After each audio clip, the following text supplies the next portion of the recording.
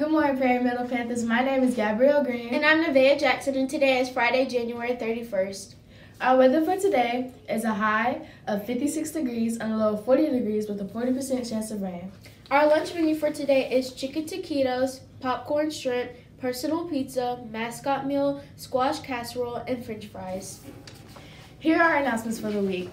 The Valentine's dance will be on Friday, February 7th from 6 until 8:30 p.m. The Valentine's court will be announced at 6:15 p.m.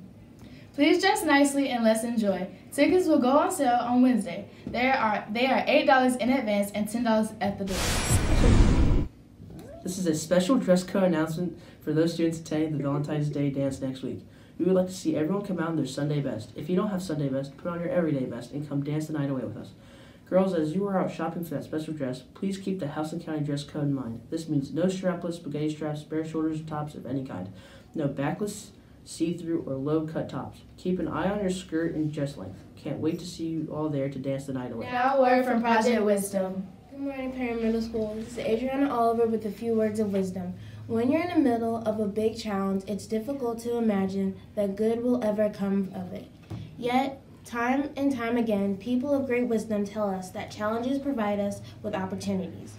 Here's how American actress Cicely Tyson says it Challenges make you discover things about yourself that you never really knew. When you're going through a difficult time, you can learn a lot about yourself. You can learn how to handle things better the next time. You can discover strengths you didn't know you had. You may realize you have more support around you, you than you think.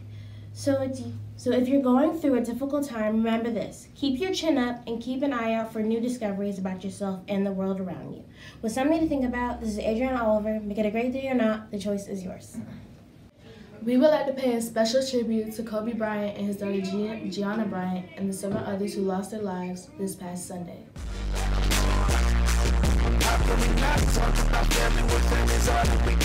Everything I went through, you were standing there by my side. And now you gon' be with me for the last one. Let the light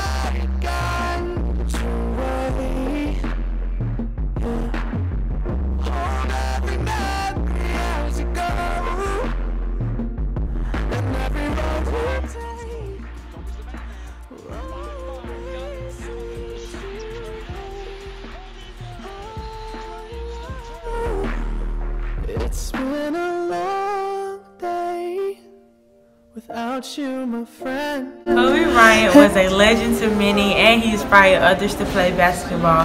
We will always remember you and I love you. R.I.P. Kobe. Long live Kobe. R.I.P. Kobe. Rest in peace, Kobe. Rest in peace, Kobe. Rest in peace, Kobe Bryant.